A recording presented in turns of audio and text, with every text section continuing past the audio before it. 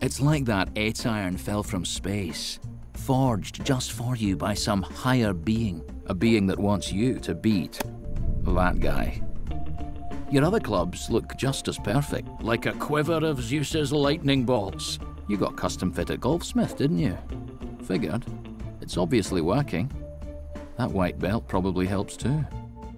Make every swing count with the custom fit play better guarantee, or return them, no questions asked.